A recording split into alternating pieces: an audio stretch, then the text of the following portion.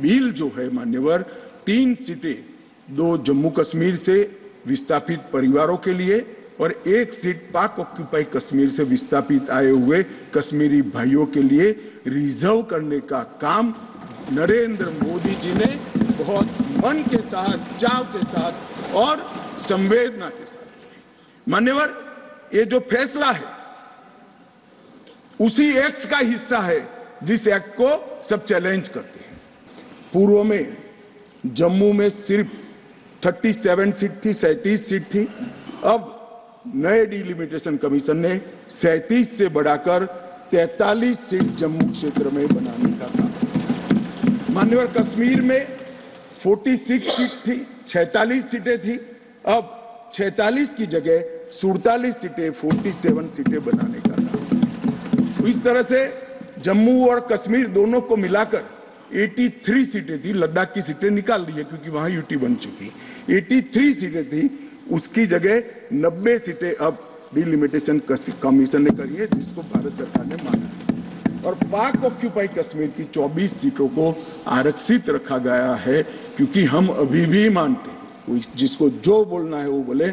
इस सदन में बोला हुआ शब्द इतिहास बनता है। मैं आज फिर से कहना चाहता हूँ, पाक ऑक्यूपाई कश्मीर भारत का है, हमारा है और हमसे कोई नहीं मान्यवर, हमने 24 सीटें पाक ऑक्यूपाई कश्मीर के लिए सुनिश्चित की है। मान्यवर, अब तक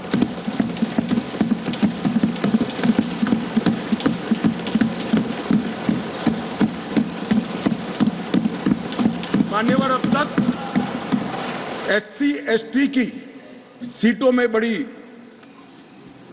विसंगतताएँ भी थी और जो दिग्विजय की कहते थे, संवेदनशील अप्रोच होना चाहिए, संवेदनशीलता होनी चाहिए। एससी, एसटी के प्रति संवेदना से ही ये निर्णय हुआ है।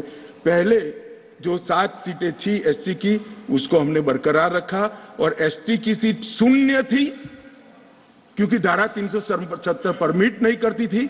अब परमिट करती है नौ सीटों को रिज़र्व कर